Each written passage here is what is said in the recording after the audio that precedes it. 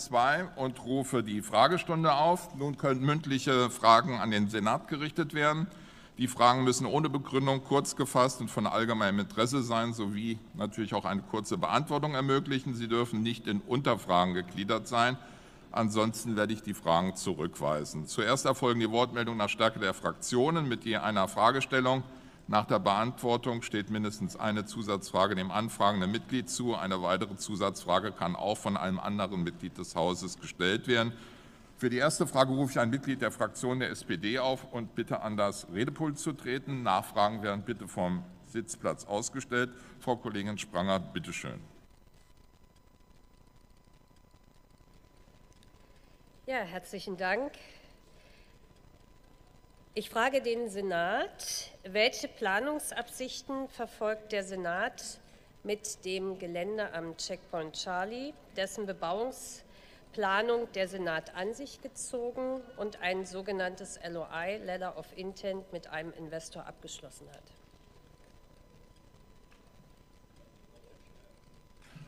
Frau Kollegin, äh, Frau Senatorin Lomscher hat das Wort. Bitte schön. Ja, Herr Präsident, sehr geehrte Frau Spranger, meine Damen und Herren! Es ist ja äh, schon seit längerem öffentlich bekannt, äh, was das Land Berlin mit dem möglicherweise designierten Eigentümer seit einiger Zeit verhandelt.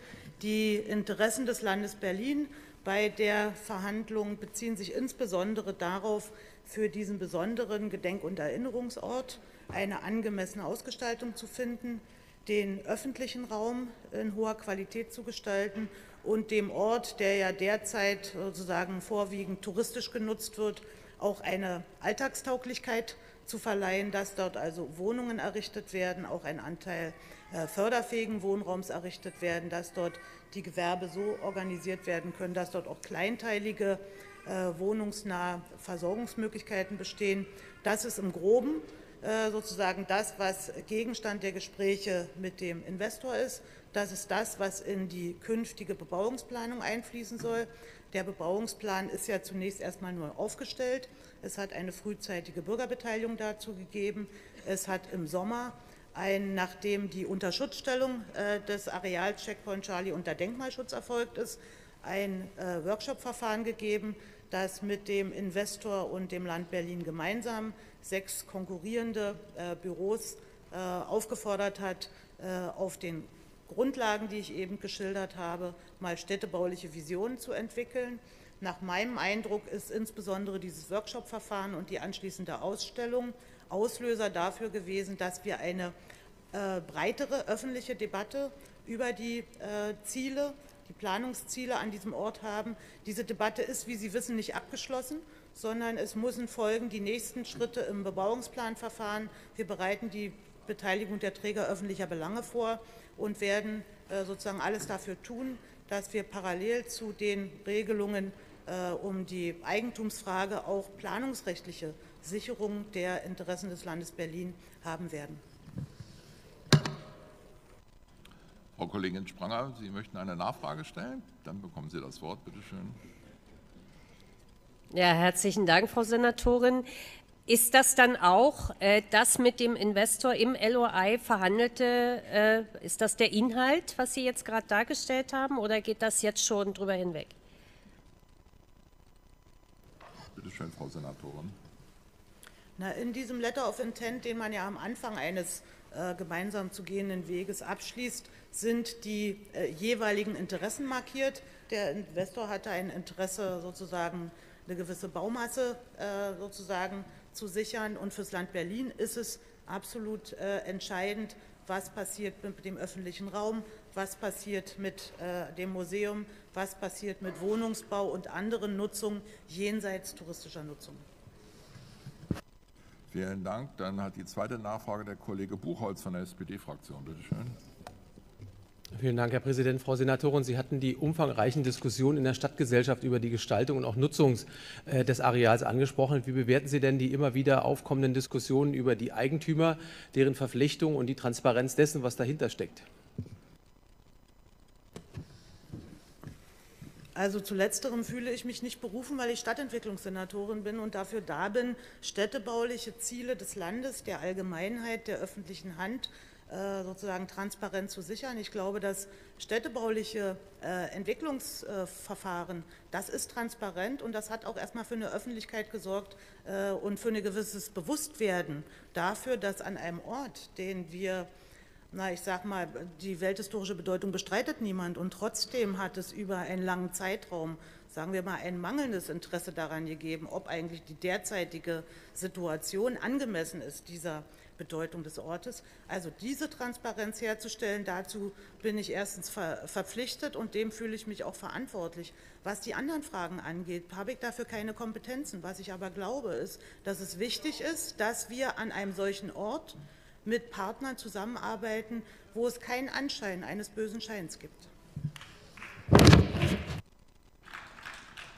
Vielen Dank. Dann kommen wir zur zweiten Frage von der CDU-Fraktion jetzt. Und Frau Kollegin Seibelt hat das Wort. Bitte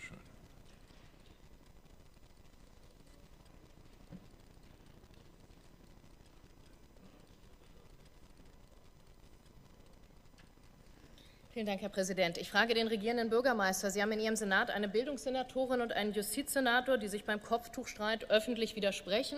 Der Justizsenator kommentiert unzutreffend das Urteil des Landesarbeitsgerichts und verpasst anschließend der von der Bildungsverwaltung beauftragten Anwältin Seran Atisch einen Maulkorb. Wer hat in Ihrem Senat eigentlich das Sagen?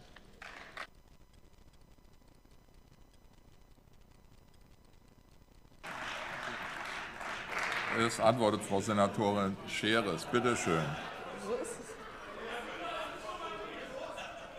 Sehr geehrter Herr Präsident, sehr geehrte Abgeordnete, ähm, Sie ähm, haben ja diese Woche mitbekommen, äh, dass wir wieder ein Verfahren vor dem Arbeitsgericht ähm, hatten in Bezug auf das Tragen des Kopftuches und hier ist ein äh, Urteil ausgesprochen worden. In der ersten Instanz äh, hat das äh, Land Berlin ähm, ein, äh, einen Sieg sozusagen ähm, erhalten. In der zweiten Instanz ist ausgesprochen worden, dass wir in Revision eintreten können. Wir befinden uns vor dem Arbeitsgericht.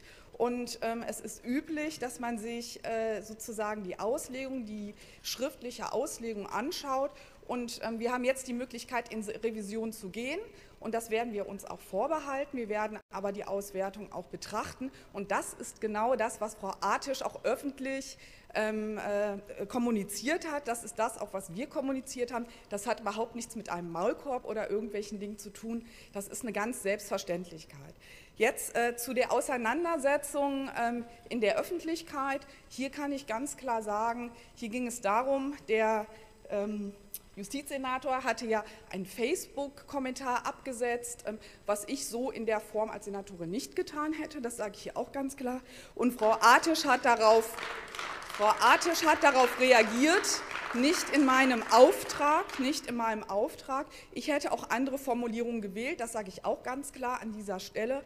Und jetzt mal zur Situation und zur Positionierung. Ich glaube, da bin ich ziemlich klar als Bildungssenatorin. Wir haben ein Neutralitätsgesetz und ich habe den Auftrag als Senatorin, mich um die Kinder und Jugendlichen in dieser Stadt zu kümmern. Es geht darum, wir haben einen Bildungsauftrag und einen Erziehungsauftrag. Und ich, äh, und ich lese oder höre, dass hier Dinge auf Kosten von Frauen ausgesprochen werden oder dass das Gesetz auf Kost, äh, sozusagen auf Kosten der Frauen ist. Ich habe einen Bildungs- und einen Erziehungsauftrag. Wir haben ein Neutralitätsgesetz und das ist umzusetzen. Ich möchte es mal ganz klar sagen. Kinder und Jugendliche sollen in Schulen lernen, in einem neutralen Raum. In einem neutralen Raum, darum geht es. Und ich kann es nicht nachvollziehen, wenn Sie sich die Schulen in Wedding anschauen, wenn Sie in die Schulen in Neukölln gehen, mit Schulleitungen reden, mit Lehrkräften reden, sagen die ganz klar, wir haben hier viele Kinder und Jugendliche unterschiedlicher Nationalitäten. Ähm, sie gehören unterschiedlichen Religionen an. Wir haben auch viele Kinder und Jugendliche an unserer Schule, die keiner Religion angehören. Das muss man auch mal so ansprechen. Und es geht darum, in einem neutralen Raum zu lernen und in einem neutralen Raum bewertet zu werden und sich auch neutral mit Religionen auseinanderzusetzen und eine eigene Auffassung zu holen.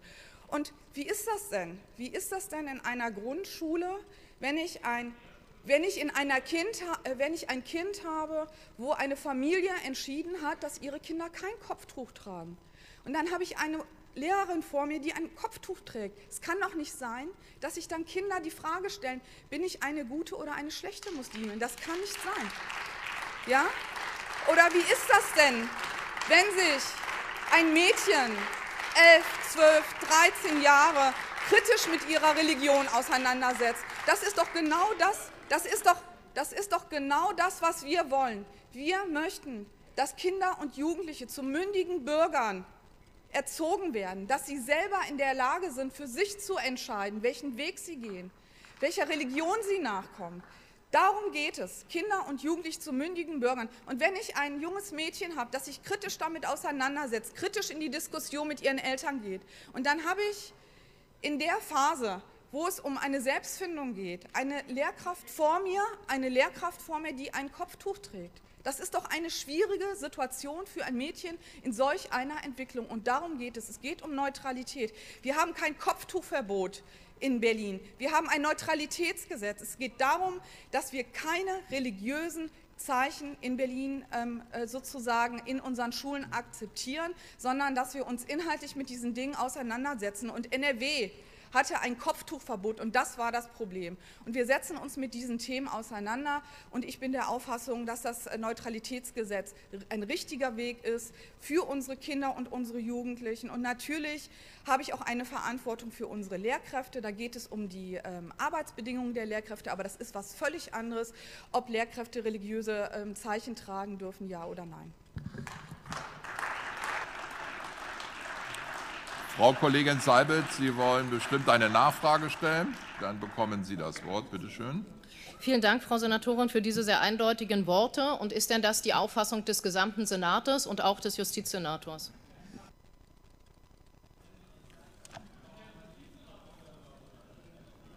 Frau Scheres.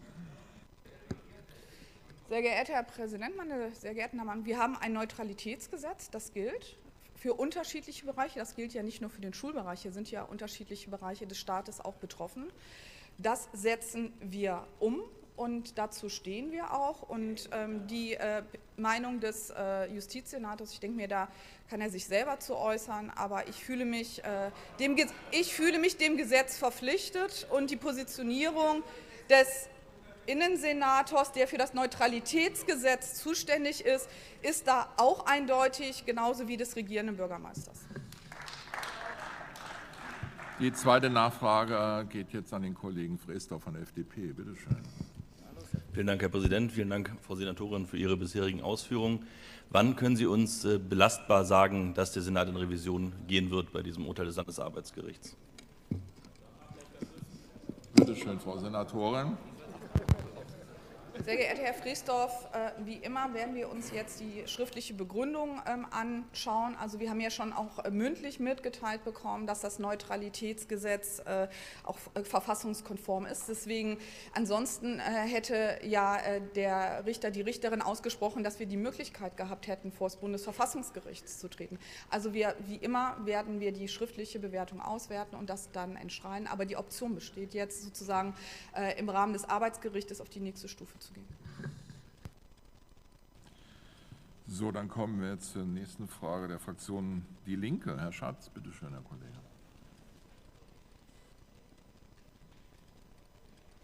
Vielen Dank, Herr Präsident. Ich frage den Senat, wo steht das Land Berlin bei der Erreichung der Ziele der Fast Track City Initiative, der wir 2016 beigetreten sind und deren Ziele war 90, 90, 90 und die Null zu erreichen. Wo stehen wir da im Moment?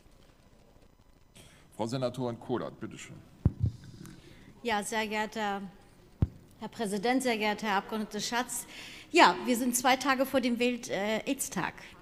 Ähm, und pünktlich ähm, zu diesem wichtigen Tag hat Robert-Koch-Institut tatsächlich jetzt gerade aktuelle Zahlen veröffentlicht.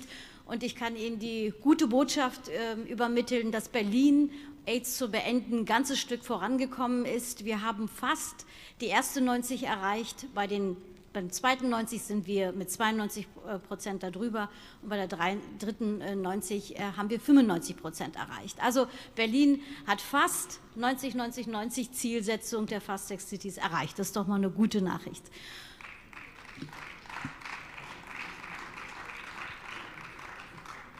Mit der ersten 90 wollen wir erreichen, dass Menschen, die mit HIV infiziert sind, auch Wissen haben über ihre Infektion. Denn das ist die Grundvoraussetzung, dass sie sich dann in Behandlung begeben und dann sozusagen diesen Virus auch bekämpfen. Ähm, deswegen ist die erste 90 enorm wichtig. Ähm, die zweite 90, da geht es darum, ähm, dass die Menschen, die wissen, dass sie HIV infiziert sind, tatsächlich auch in eine Behandlung kommen. Ich war mit dieser Zahl in der Vergangenheit nicht zufrieden, deswegen habe ich mich besonders gefreut, dass 92 Prozent der Menschen, die wissen, dass sie HIV infiziert sind, tatsächlich auch in eine Therapie gehen. Und die ganz gute Nachricht ist, dass 95 Prozent von denen wiederum äh, so weit in ihrer Therapie kommen, dass äh, sozusagen die Nachweisgrenze des Virus auch unterschritten wird.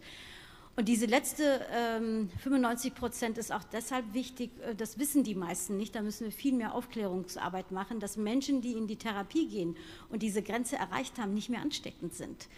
Und äh, deswegen ist das ein großartiges Ergebnis äh, für Berlin. Ähm, und ich möchte an dieser Stelle aber auch ganz klar sagen, dass diese Zahlen nicht von alleine kommen, sondern das ist die Initiative Fast Track Cities und die ganze Community in der Stadt, die seit vielen Jahren äh, mit dem Senat an einem Strang ziehen. Und ich glaube, das ist auch ein Moment, dass man auch Danke sagen muss an die ganze Community, die die Tests mitmachen, die Beratung machen, Begleitung machen, aber vor allem die vielen Ärzte und Ärzte in unserer Stadt.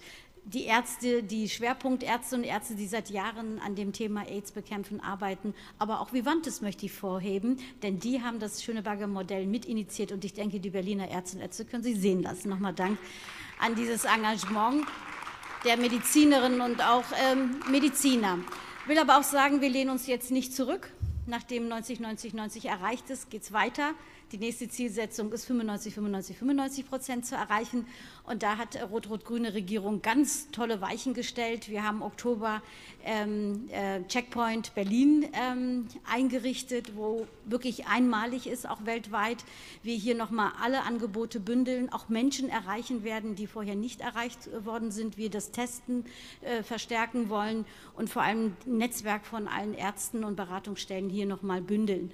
Will aber auch nennen, dass unsere Clearingstelle ja hier auch ein wichtiger Baustein ist, dass Menschen, die keinen Zugang zur medizinischen Versorgung haben, hier auch schneller hoffentlich in die Therapie kommen. Und hier hat das Parlament eine ganz große Rolle gespielt, die Finanzierung der Clearingstelle, aber auch des Checkpoints Berlin hier auf den Weg zu bringen. Natürlich danke dafür, dass wir das alles hier auch umsetzen können aber auch Entwicklung auf Bundesebene, muss ich sagen, spielt Berlin in die Karten, denn wir haben äh, ganz aktuell eben auch die Situation, dass PrEP äh, eventuell auch finanziert werden soll. Wir haben schon bereits vorausschauend in unserer Clearingstelle, aber auch im, im, im Checkpoint ja ein Modellprojekt PrEP auf den Weg gebracht, äh, um Menschen zu unterstützen, die vielleicht nicht das Geld für diese wichtige Prävention, weil wir wollen ja bei der 90-90-90-Strategie fangen wir ja immer an, wenn die Menschen schon infiziert sind. Aber wir setzen ja in Berlin schon auf die Prävention. Wir wollen, dass Menschen erst gar nicht infiziert werden. Und deswegen wird Prävention in Zukunft ein großes Thema sein. Das Selbsttesting, was jetzt auch mit einer neuen Verordnung, Medizinprodukteverordnung auch ermöglicht ist, wollen wir auch in die ganze Umsetzung mit einbauen. Also wir sind ein ganzes Stück vorangekommen, aber nicht zu vergessen ist die letzte Null, denn wir wollen auch mit dieser Strategie Null Stigmatisierung und Ausgrenzung von HIV-Infizierten und AIDS-Kranken machen. Da haben wir alle noch gemeinsam zu tun, denn leider, leider ist auch heute die Stigmatisierung und Diskriminierung Realität in unserer Gesellschaft. Aber da hoffe ich äh, auch auf unsere gemeinsame Kraft dieser Regierung, dass wir AIDS in Berlin keine Chance geben. Dankeschön. Herr Kollege Schatz, für eine Nachfrage.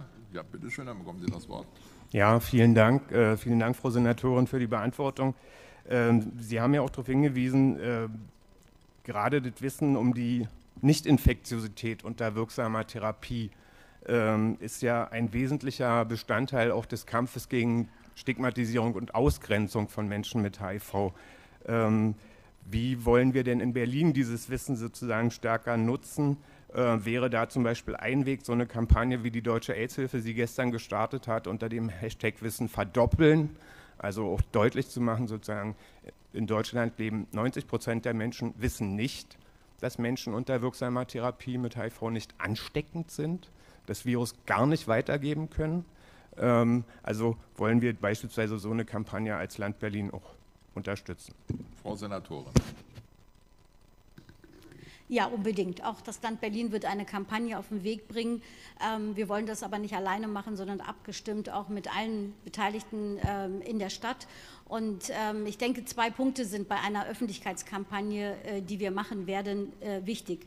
Zum einen natürlich die Stigmatisierung zu beseitigen, denn ähm, wenn Vorurteile da sind, Diskriminierung da ist, dann trauen sich Menschen auch nicht, ähm, dann sich testen zu lassen und auch offen mit ihrer ähm, Infizierung auch umzugehen. Deswegen ist das Thema Null Toleranz ähm, enorm wichtig, auch ähm, für, für, für die Strategie insgesamt. Und der zweite Punkt ist tatsächlich aufklären, aufklären, aufklären, dass eben die frühzeitige Feststellung der Infizierung und das frühzeitige Eintreten in die Therapie äh, lebenswichtig ist, aber auch wichtig ist, um diese Krankheit schnell zu besiegen. Inzwischen ist der medizinische Fortschritt da, aber leider lassen sich viele Menschen noch Zeit, ähm, stellen die Infizierung sehr spät fest und, oder gehen sehr spät in die Therapie rein. Also mit den beiden Zielen wird Berlin auf jeden Fall eine Kampagne auf den Weg bringen. Wir brauchen mehr Aufklärung, mehr Sensibilität, ähm, um die Diskriminierung auch in Berlin ein Ende zu setzen. Und das wird der Berliner Senat auf den Weg bringen, aber wie gesagt, nicht alleine, sondern mit der gesamten Community. Die zweite Nachfrage geht jetzt an Frau Kühnemann-Kruno von der SPD. Bitte schön, Frau Ja, im Sinne der 90-90-90-0-Ziele von denen, der Kollege Schatz hat das gerade angesprochen, ja 91 für die 90 Prozent HIV-Infizierten steht, die unter der Nachweisgrenze sind und die Null vor allen Dingen für Null-Diskriminierung stehen, frage ich ähm, den Senat nach, ob das Kürzel ANST, also Angst, für Ansteckungsgefahr in den Akten und in den elektronischen Datenbanken der Polizei für Personen, die mit HIV infiziert sind, diesen Zielen nicht zuwiderläuft.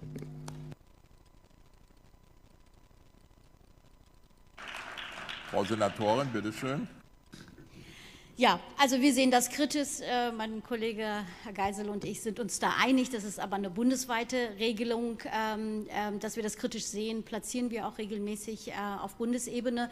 Will aber sagen, dass das nicht reicht, ähm, sich kritisch äh, zu äußern. Wichtig ist, dass man tatsächlich Verfahren definiert, dass im Falle einer möglichen Infektion die Polizisten auch Unterstützung haben. Dass es hier tatsächlich eine Kette gibt von Handlungsanweisungen, denn das schnelle Testen ist dort dort relevant äh, und äh, schnell Vorsorge treffen mit äh, PEP und dergleichen. Und das ist etwas, was wir gemeinsam auch verbessern können. Ähm, das ist auf jeden Fall etwas, woran wir auch arbeiten. Wir kommen jetzt zu Bündnis 90 Die Grünen. Frau Ludwig, bitteschön.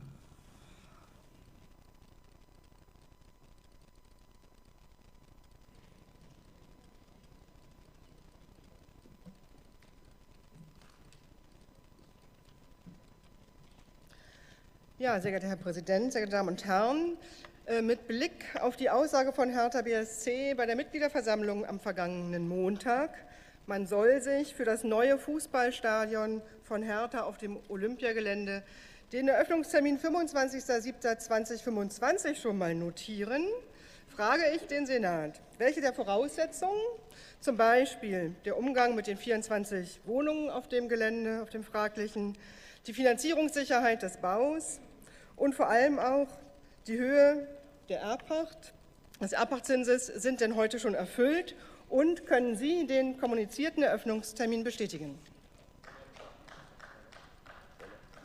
Frau Senatorin Lomschau.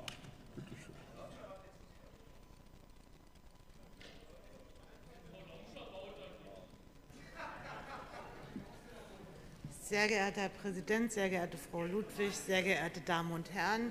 Das ist richtig. Frau Lomscher baut da nicht, sondern Frau Lomscher ist deshalb zur Antwort aufgefordert worden, weil sie mal den planungsrechtlichen Zusammenhang hier darstellen wird. Ähm, für den Fall, es kommt äh, zu der, äh, einem Antrag, dort einen Stadionneubau zu errichten, den gibt es ja bisher nicht und das ist ja auch noch sozusagen in internen Klärungen, wird auf jeden Fall ein Bebauungsplanverfahren erforderlich sein. Dieses Bebauungsplanverfahren führt entweder der Bezirk Charlottenburg-Wilmersdorf durch oder die Senatsverwaltung für Stadtentwicklung und Wohnen. Auch das wird erst dann entschieden, wenn es soweit ist. Ähm, und ein solches Bebauungsplanverfahren müsste dann natürlich alle Fragen, die in dem Zusammenhang abzuwägen sind, äh, vernünftig analysieren und zur Entscheidung vorbereiten. Erst dann könnte auch geklärt werden, ob für einen Stadionneubau tatsächlich ähm, äh, der Abriss äh, von Wohnungen in, äh, in Kauf genommen werden sollte, wie es sich mit den Denkmalschutzbelangen verhält, wie man Emissionsschutzregelungen durchsetzt. All diese Fragen sind dann zu klären. Erfahrungsgemäß würde ich jetzt hier mich mal so weit vorwagen zu sagen, es ist ein kompliziertes Bebauungsplanverfahren und deshalb würde ich auch nicht meine Hand dafür ins Feuer legen, dass man das innerhalb von zwei Jahren abgeschlossen haben könnte.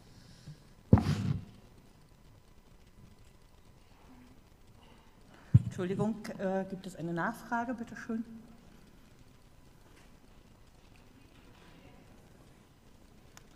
Moment, jetzt lenke ich mal nicht ab. Hallo, ja, danke schön für die ähm, Beantwortung. Äh, Hertha BSC hat ja aber auch einen äh, Erbpachtzins kommuniziert in Höhe der so zwischen 20 und 50, also auf Basis eines Bodenpreises von 20 bis 50 Euro pro Quadratmeter. Um Umfeld werden derzeit 1500 bezahlt. Ich nehme jetzt einfach mal an, der Erbpachtzins, der wird schon noch verhandelt, bevor da ein B-Plan-Verfahren äh, beginnt, denn der Erbpachtzins wird ja einen erheblichen Einfluss auf die Entscheidung von Hertha BSC für den Standort überhaupt haben. Daher frage ich, können Sie diesen Erbpachtzins, den Hertha BSC kommuniziert, bestätigen oder ähm, liegt der womöglich doch in einer ganz anderen Größenordnung, sodass dieser Standort eventuell ja gar nicht in Frage kommt. Frau Senatorin, bitte. Sehr geehrte Frau Ludwig, ich kann das nicht bestätigen, weil die Voraussetzung für Verhandlungen über einen Erbachtzins wäre ja erstmal eine grundsätzliche Einigung darüber, dass man überhaupt ein Gelände abtritt für einen Stadionneubau. Eine solche Entscheidung ist noch nicht getroffen. Herr Frederizzi hatte die zweite Nachfrage. Bitte schön. Vielen Dank, Frau Präsidentin. Ich frage Sie, Frau Senatorin, ist der Senat bereit, bei so einem großen Infrastrukturprojekt für Berlin und die Region Berlin-Brandenburg zu erklären, dass er bei einem etwaigen Bebauungsplanverfahren deutlich das Verfahren mit mehr Personal abkürzen wird, sodass eben doch die zwei Jahre erreicht werden. Denn es geht ja um eine erhebliche Millionensumme, die hier ein privater Investor für Berlin tragen würde. Frau Senatorin. Sehr geehrter Herr Friderizzi, auch diese Frage kann ich Ihnen zum jetzigen Zeitpunkt nicht beantworten, weil sich die schlicht und ergreifend noch nicht stellt. Vielen Dank. Für die nächste Fragerunde hat jetzt der Abgeordnete Herr Drefzer von der AfD-Fraktion das Wort. Bitte schön.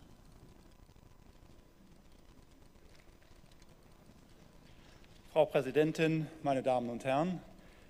Ich frage den Senat, im Zusammenhang mit der Entlassung von Hubertus Knabe durch den Stiftungsrat der Gedenkstätte Berlin-Hohenschönhausen sind nach der Entscheidung des Landgerichts Berlin vom vergangenen Freitag, Hubertus Knabe die Rückkehr nach Hohenschönhausen zu ermöglichen, kurzfristig neue Erkenntnisse aufgetaucht, die eine sofortige Entlassung aus der Sicht des Senats erforderlich gemacht hätten, oder sind bereits bekannte Vorwürfe durch Frau Birtler kurzfristig neu zusammengestellt worden, um die Entscheidung des Landgerichts zu konterkarieren. Für den Senat antwortet Staatssekretär Wöhlert. Bitte, Sie haben das Wort. Herr Präsident, Herr Abgeordneter, meine Damen und Herren! Ähm, der Stiftungsrat der Stiftung Gedenkstätte Hohenschönhausen ist am 25. November zu einer außerordentlichen Sondersitzung zusammengetreten. Basis und Grundlage für das Zusammentreten war auf der einen Seite ähm, Berichte von Frau Birtler und Herrn Arndt, dem neuen Verwaltungsdirektor, die in der Gedenkstätte ähm, Untersuchungen bzw. Befragungen von Mitarbeitern durchgeführt haben. Diese Berichte lagen dem Stiftungsrat vor. Mit diesen Berichten hat er sich auseinandergesetzt und ähm, hat in seiner Begründung der von Ihnen erwähnten Abberufung von Herrn Knabe als Vorstand Mängel in der Führungskultur, im Betriebsklima und in organisatorische Defizite in der Gedenkstätte festgestellt und auf dieser Grundlage die Beschlüsse getroffen, die getroffen worden sind. Herr Trefzer, Sie haben die Möglichkeit der Nachfrage, bitte schön. Frau Präsidentin, noch eine Frage zu Frau Birtler. War dem Senat bei der Ernennung von Frau Birtler als Sonderermittlerin bekannt, dass Marianne Birtler nach einer zurückliegenden juristischen Auseinandersetzung mit Hubertus Knabe nicht als unbefangene und neutrale Ermittlerin hätte eingesetzt werden dürfen.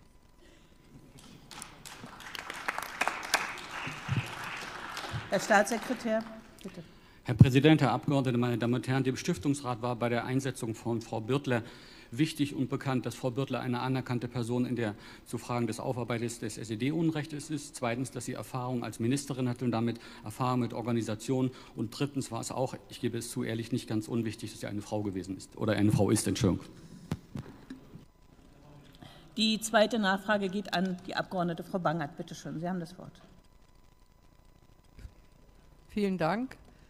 Herr Staatssekretär Wöhler, trifft es zu, dass äh, maßgeblich für die Abberufung äh, das Dulden fortgesetzter sexueller Belästigung äh, von Mitarbeiterinnen der Gedenkstätte ursächlich war? Sehr geehrter Herr Staatssekretär, Sie haben das Wort, bitte.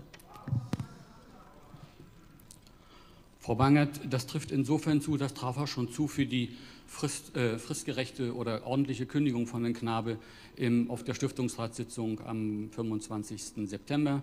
Die äh, sexuellen Belästigungen von Frauen in der Gedenkstätte sind ein wesentlicher und ein entscheidender Aspekt dessen, was ich äh, vorhin als äh, mangelnde Führungskultur und ähm, ausgesprochen schlechtes Betriebsklima beschrieben habe. Vielen Dank. Die nächste Frage geht an Frau Dr. Jasper Winter von der Fraktion der FDP. Bitte schön.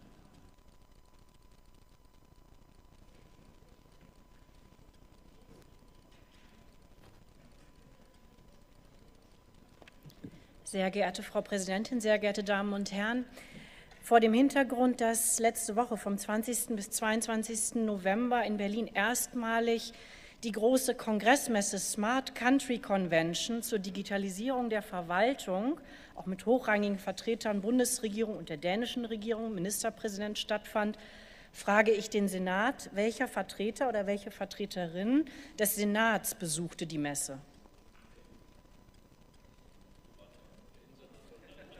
Für den Senat antwortet Senator Geisel. Bitte, Sie haben das Wort. Frau Präsidentin, meine sehr geehrten Damen und Herren, Frau Dr. Jasper Winter. Selbstverständlich war die ähm, zuständige Senatsverwaltung mit mehreren Mitarbeitern auf unterschiedlichen Hierarchieebenen anwesend. Eigentlich war die Teilnahme von Frau Staatssekretärin Smentek geplant, die an diesem Tag aber leider krankgeschrieben war und nicht teilnehmen konnte. Frau Abgeordnete, Sie haben die Möglichkeit der Nachfrage, bitte schön. Stimmen Sie mir darin zu, dass es bei einem Thema wie der Digitalisierung der Verwaltung, wo in Berlin ja noch viel Luft nach oben ist, angemessen wäre, dass dann stattdessen eine andere Vertreterin und ein anderer Vertreter des Senats auf Führungsebene anwesend gewesen wäre? Herr Senator, bitte. Also Frau Dr. Jasper-Winter, zunächst will ich sagen, dass wir in Sachen Digitalisierung der Berliner Verwaltung ganz gut unterwegs sind. Und Sie wissen, dass vor dem Hintergrund, dass das E-Government-Gesetz Ende 2016 beschlossen worden ist und wir somit jetzt zwei Jahre die Gelegenheit hatten, das Gesetz umzusetzen, schon eine ganze Menge bewegt worden ist. Dass noch Luft nach oben ist, ist völlig unbestritten, aber ähm, ich habe hier bei verschiedenen Gelegenheiten schon gesagt, dass die Zeitplanung nicht so ist, dass dieser vor uns liegende Komplex 80.000 Arbeitsplätze zu digitalisieren und mehrere hundert Fachverfahren im Land Berlin zu digitalisieren, innerhalb weniger Wochen oder Monate zu bewältigen ist. Also das zu der Luft nach oben. Und ja, ich stimme Ihnen zu, dass es besser gewesen wäre, auf Leitungsebene vertreten zu sein. Krankheiten lassen sich, kurzfristige Erkrankungen lassen sich aber leider nicht planen. Ich bedauere das. Die zweite Nachfrage geht an den Abgeordneten Otto. Bitte, Sie haben das Wort.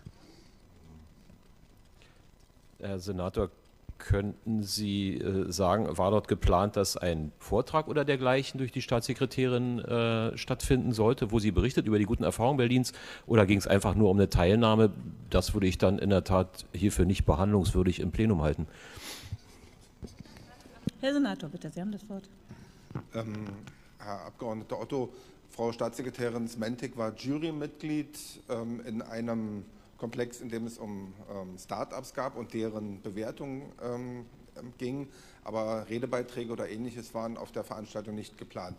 Die hätten abgesichert werden müssen, selbstverständlich.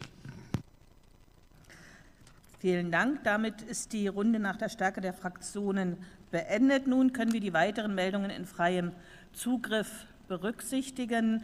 Ähm, Sie kennen das Prozedere. Ich werde diese Runde mit einem Gongzeichen eröffnen. Schon mit dem Ertönen des Gongs haben Sie die Möglichkeit, sich durch Ihre Ruftaste anzumelden. Alle vorher eingegangenen Meldungen werden nicht erfasst und bleiben unberücksichtigt.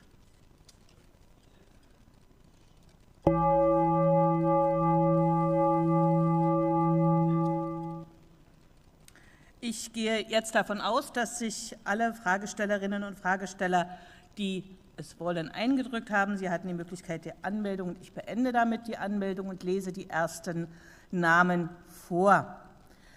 Zunächst Herr Gindra, dann Frau Jarasch, dann Herr Dregger, Herr Ubelode, Herr Hansel, Herr Wild, Herr Freimark, Herr Standfuß, Herr Frederizzi, Herr Wanzner. Sollten wir danach noch Zeit haben, werde ich die weiteren verlesen. Es beginnt in der Fragerunde Herr Abgeordneter Gindra. Bitte schön, Sie können Ihre Frage stellen. Haben Sie den zweiten Gesagt? machen Sie es einfach noch. Damit, ne? Das war nur der zweite Gong. Alles gut.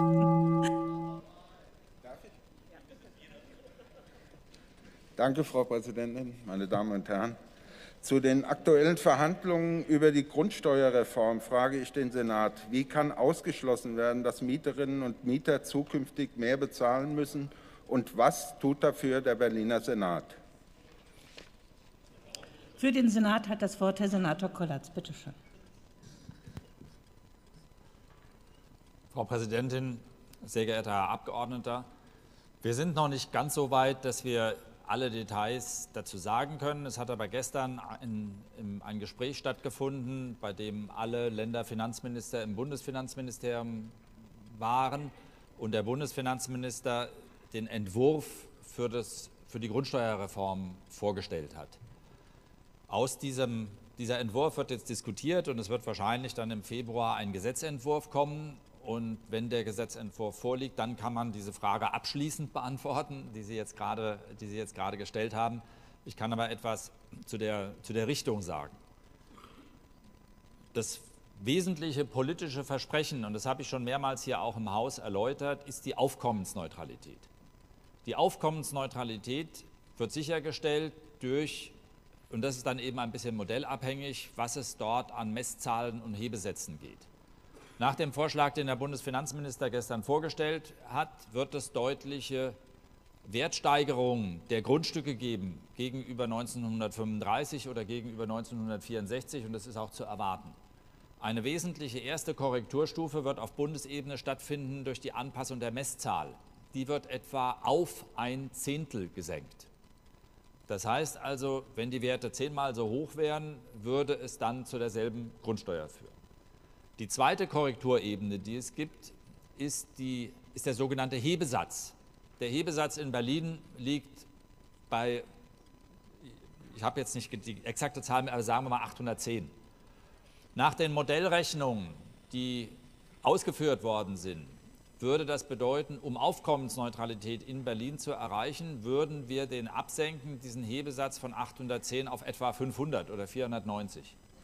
Das heißt also, es wird eine deutliche Senkung stattfinden, damit eben die Steuerbelastung insgesamt gleich bleibt. Die Steuerbelastung, dass die insgesamt gleich bleibt, ist die Aufkommensneutralität. Trotzdem ist es natürlich denkbar, dass es den einen oder anderen Fall gibt, bei dem mehr gezahlt wird. Und es ist auch, dem steht aber immer gegenüber, dass es mindestens genauso viele Fälle geben wird, bei denen weniger gezahlt wird. Durch diese Methode ist allerdings sichergestellt, dass im Trend es so ist, dass eher die Mieterinnen und Mieter weniger zahlen und im Trend es so ist, dass eben gerade diejenigen, die sagen wir mal an sehr besonderen Lagen, sehr besondere alleinstehende Häuser haben, dass die eben ein bisschen mehr zahlen. So, und etwas genaueres wird man dann dazu sagen können, wenn das alles vorliegt, aber dadurch wird ausgeschlossen, dass es eine stärkere Belastung der Mieterinnen und Mieter in Berlin gibt. Vielen Dank, Herr Gintra. Sie haben die Möglichkeit der Nachfrage. Ja. In der Presse wurden andere Szenarien äh, diskutiert. Wird der Senat das Bundesverfassungsgericht direkt anrufen, wenn es eine Regelung zulasten der Mieterinnen und Mieter gibt? Herr Senator, bitte, Sie haben das Wort. Also ich habe eben in, dem, in der ersten Antwort extra etwas ausführlicher geantwortet, weil viele der Pressedarstellungen eben gerade falsch waren. Und insofern ist es so, bitte ich Sie jetzt auch zu verstehen, dass ich nicht falsche Pressemeldungen für eine Realität halte. Ähm, wenn das Gesetzgebungsverfahren, wenn das Gesetzgebungsverfahren abgeschlossen ist, wird es auch hier im Abgeordnetenhaus die Gelegenheit zu einer politischen Bewertung geben. Und insofern ist es so, der werde ich nicht, der werde ich nicht vorgreifen und die werden, wir dann, ähm, die werden wir dann auch alle gemeinsam diskutieren. Ich gehe aber davon aus, dass es gerade nicht nötig sein wird, in diesem Sinne, den sie angesprochen hat, tätig zu werden. Aber wie gesagt, es ist jetzt zu früh, das zu sagen. Nur bitte auch bitte an die Abgeordneten, fallen Sie nicht auf falsche Pressemeldungen rein. Die zweite Nachfrage geht an den Abgeordneten Zillig. Bitte, Sie haben das Wort. Ja, vielen Dank für die Auskunft. Ähm, inwieweit, Herr Finanzsenator, halten Sie es denn äh, dem Modell, das der Finanzminister gestern in Grundzügen vorgestellt hat, ähm, dem Wesen nach eingeschrieben? dass eine Umlage der Grundsteuer auf die Mieterinnen und Mieter erfolgt? Oder halten Sie es für möglich, durch die Änderung anderer bundesrechtlicher äh, Vorgaben, wie zum Beispiel der Betriebskostenvereinbarung, ähm, hier eine andere Regelung vorzunehmen? Und äh, würde der Senat Überlegungen näher treten, so etwas zu initiieren? Herr Senator, bitte, Sie haben das Wort. Ich danke für die Frage, weil es mir auch eine Gelegenheit gibt, einen Sachverhalt klarzustellen. Und ja, das ist möglich. Und es ist auch richtig, wie Sie, Herr Zillig, es dargestellt haben, dass dies in einer anderen Rechtssphäre stattfindet.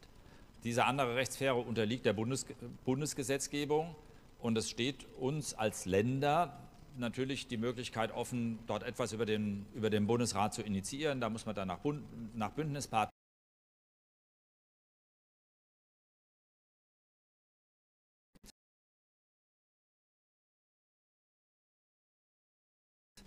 zu dem dann der Bundesrat Stellung nehmen muss, dass der dieses nicht enthält. Aber ja, es ist möglich, im Mietrecht das so zu regeln und es ist auch überhaupt nicht durch das Grundgesetz oder sowas vorgegeben, dass es auf die Mieten umgelegt werden muss oder dass es die Berechtigung gibt, auf die Mieten umzulegen, sondern das könnte man im Mietrecht, das könnte man im Mietrecht anders regeln.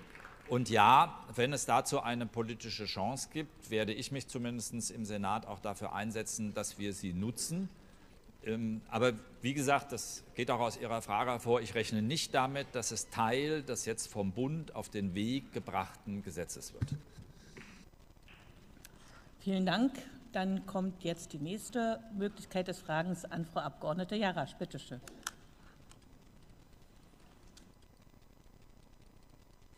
Ich frage den Senat, wie viele weitere Urteile des Landesarbeitsgerichts gegen das Land Berlin in Sachen äh, kopftuchtragende Lehramtsanwärterinnen der Senat noch für zu, zuträglich hält, auch für unsere Rechtsordnung.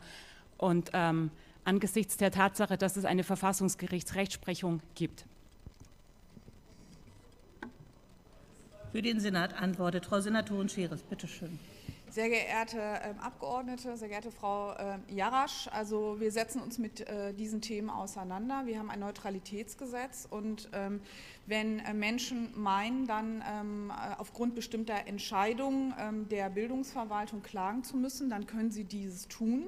Ich bin verpflichtet, als Bildungssenatorin dem Recht nachzugehen, dem Neutralitätsgesetz. Wir setzen uns damit auseinander. Und es gibt noch äh, ein paar Klagen, die äh, vorliegen, die laufen.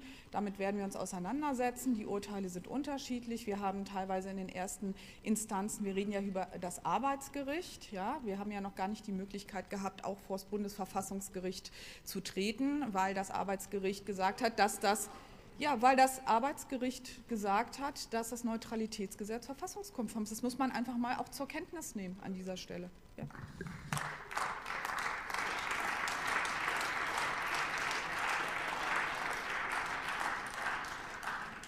Frau Jarasch, Sie haben die Möglichkeit der Nachfrage, bitte.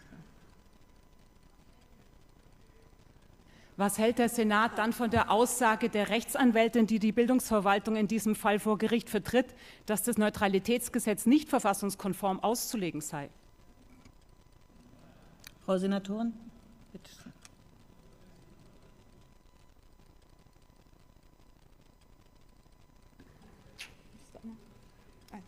Diese Aussage ist mir nicht bekannt. Die zweite Nachfrage geht an den Abgeordneten Wansner. Bitte schön, Sie haben das Wort. Danke. Frau Präsidentin, ist dem Senat bekannt, welche Islamverbände dahinter stehen, dass diese Frauen äh, dagegen Klagen erheben? Äh, welche Interessenverbände da möglicherweise äh, dieses forcieren? Frau Senatorin, bitte, Sie haben das Wort. Sind unterschiedliche Interessensverbände. Teilweise konnte man es ja den Zeitungen auch entnehmen.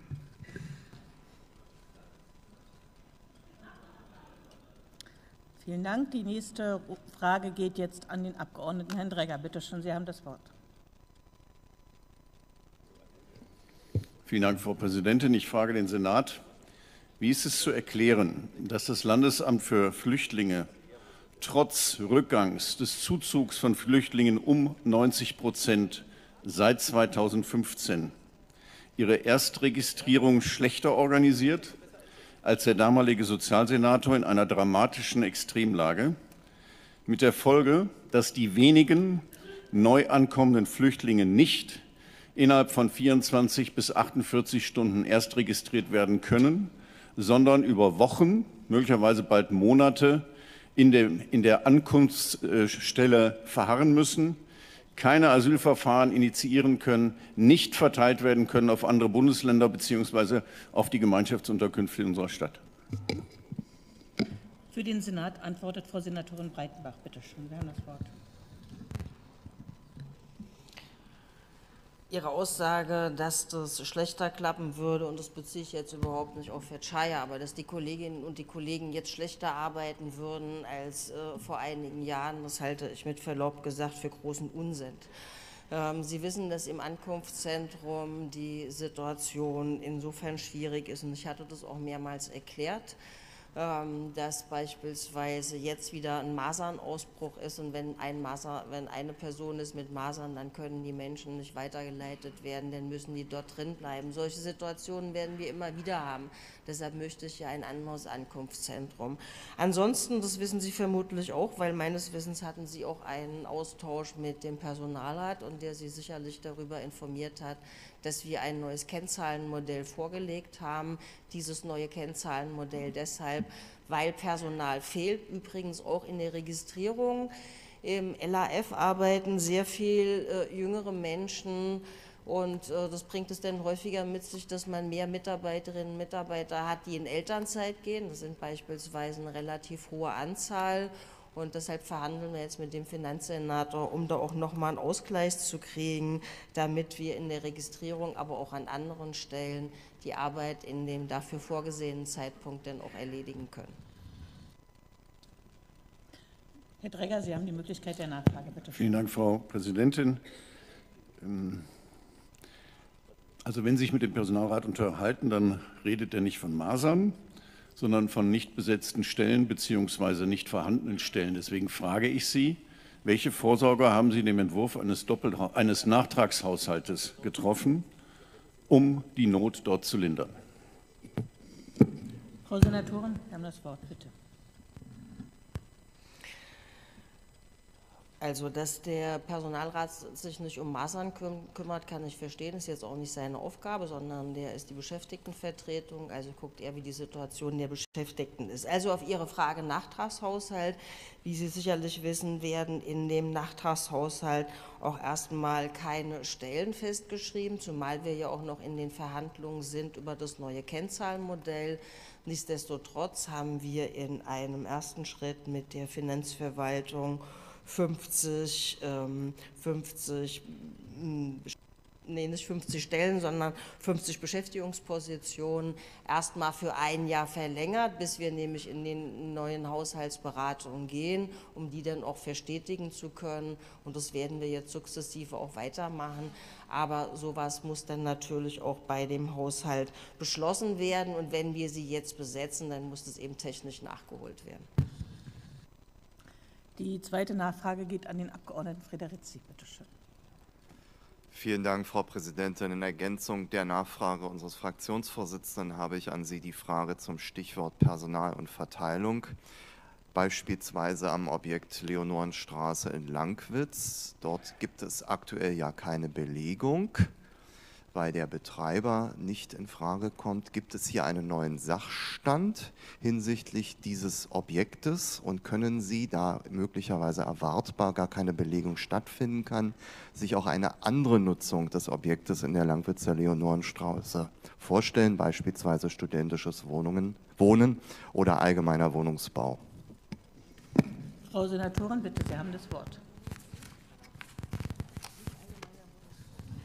So, also ich wollte jetzt gerne hinten, das habe ich den Staatssekretär noch mal gefragt, gegen allgemeiner Wohnungsbau. Das kann ich Ihnen jetzt nicht sagen, weil wir haben diese, wir bauen diese Flüchtlingsunterkünfte. So, und diese Flüchtlingsunterkünfte werden entweder gebaut nach dem Flüchtlingsbaurecht und dann dürfen die ersten Jahre überhaupt nur geflüchtete Menschen dort einziehen. Das heißt, man kann dann auch nicht einfach sagen, ach, da machen wir mal Studierende rein oder Wohnungslose rein, ähm, so, und das funktioniert nicht. Da müssten Sie sich denn vielleicht mal auf Bundesebene bei Ihrer Partei ähm, dafür stark machen, dass da eine Änderung gibt, dass man dann quasi sagt, Mensch ist Mensch und die können denn da immer einziehen. Im Moment ist das so nicht möglich.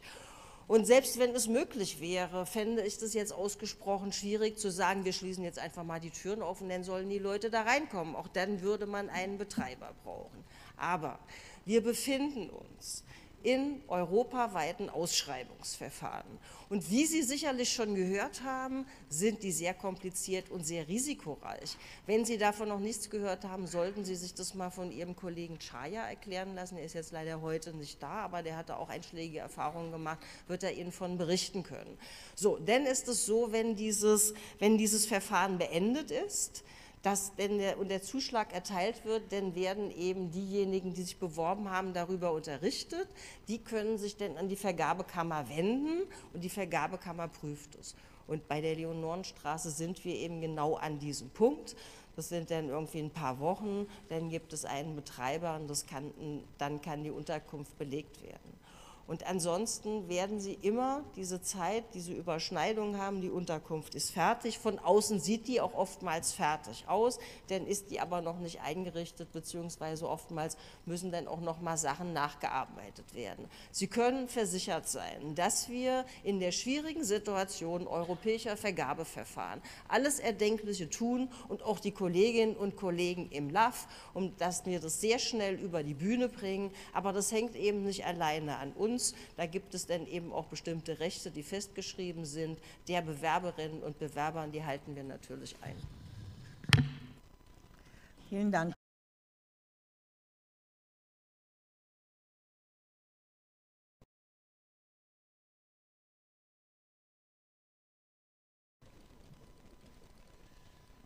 Vielen Dank. Ich frage den Senat, aus welchem Grund zum Beispiel durch eine eventuell besondere Gefährdung durch terroristische Angriffe, hält der Senat die Besucher der zahlreichen anderen Weihnachtsmärkte Berlins für weniger schutzbedürftig als die des besonders aufwendig gesicherten Marktes am Breitscheidplatz. Für den Senat antwortet Senator Geisel, bitte schön. Sie haben das Wort. Frau Präsidentin, meine sehr geehrten Damen und Herren, sehr geehrter sehr geehrter Abgeordneter Obelode.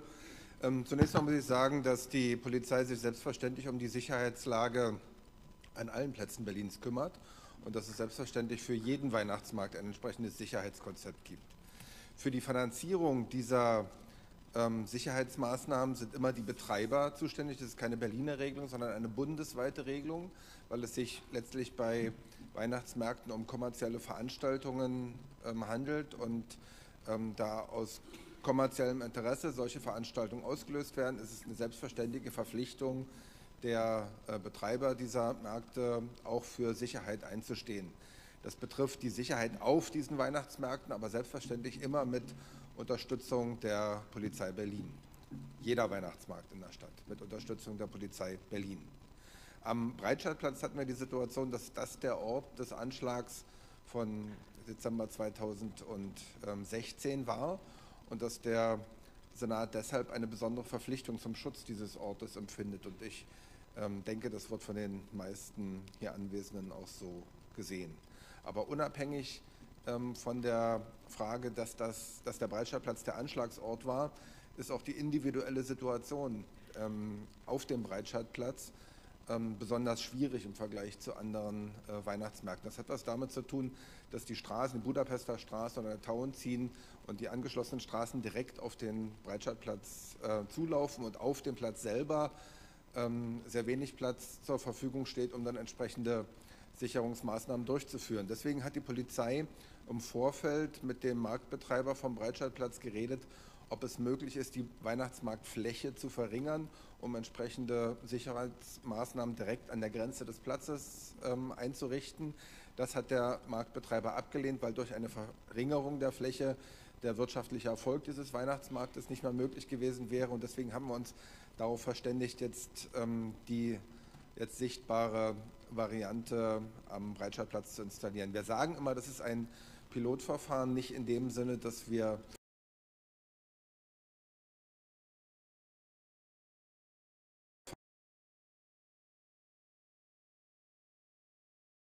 dass wir für zentrale Plätze dieser Stadt ähm, Überlegungen anstellen, den öffentlichen Raum zu sichern.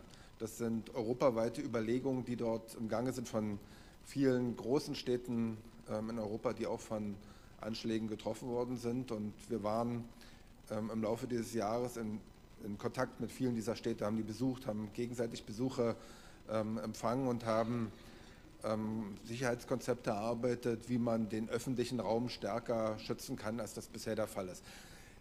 Das ist immer eine Gratwanderung. Immer eine Gratwanderung, weil diese Sicherung notwendig ist, weil die Bedrohungssituation, die abstrakte Bedrohungssituation in großen Städten, so auch Berlin, nach wie vor gegeben ist.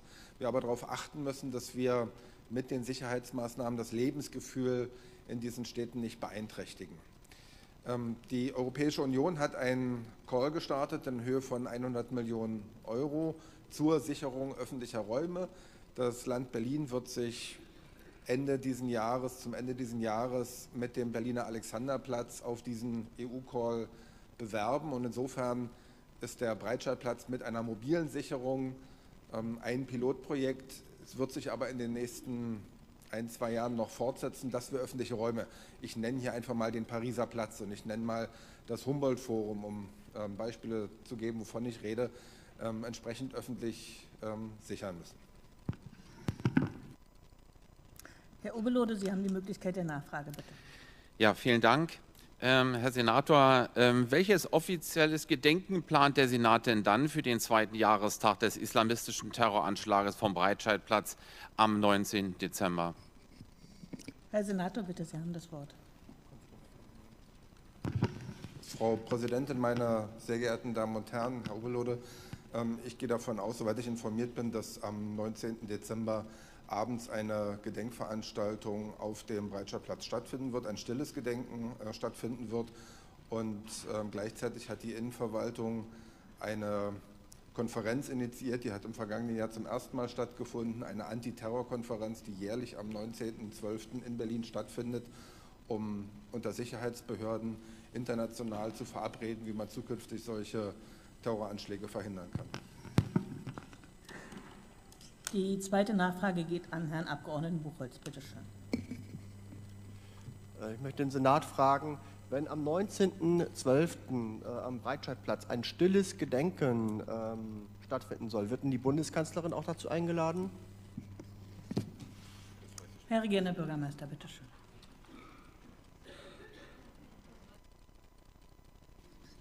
Frau Präsidentin, Herr Abgeordneter, wir sind natürlich in einem ständigen Austausch mit allen Ebenen der Bundesregierung und der äh, einzelnen Verwaltungen auch auf der Bundesebene, wie wir würdevoll auch äh, mit diesem 19.12. umgehen. Es ist ganz klar, dass alle auch immer eingeladen sind. Wir werden am Vormittag des 19.12. eine stille Kranzniederlegung haben, dort am Anschlagsort. Und es wird auch der Opferbeauftragte der Bundesregierung mit dabei sein. Möglicherweise, das ist noch nicht abgeschlossen, wird es auch eine politische Vertretung dann geben in dieser Situation vormittags. Es wird abends dann Ähm, wie der Innensenator es schon angesprochen hat, es wird dann nochmal im Rahmen einer Andacht, im Rahmen eines Gottesdienstes natürlich auch ähm, diese besondere Situation und dieser zweite Jahrestag gewürdigt.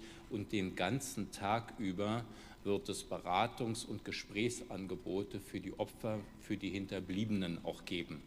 Und ähm, dieses, was ich Ihnen jetzt darstelle, ist schon in enger Abstimmung mit den Bundes, äh, mit den Verantwortlichen auf der Bundesebene verabredet worden.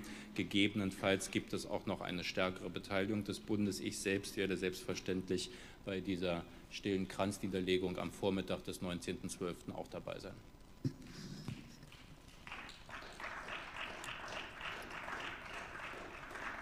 Vielen Dank. Damit sind die 60 Minuten für heute beendet. Sehr verehrte Damen und Herren Abgeordnete, die Fragestunde ist damit für heute beendet. Ich komme nun zum Tagesordnungspunkt 3. Dringliche Beschlussempfehlung des Hauptausschusses Drucksache 18 1481 zur Volksinitiative gemäß Artikel 61 Absatz 1 der Verfassung von Berlin. Drucksache 18 1238 unsere Schulen. Hierzu Ersetzungsantrag der Fraktion der SPD, der Fraktion Die Linke und der Fraktion Bündnis 90 Die Grünen, Druck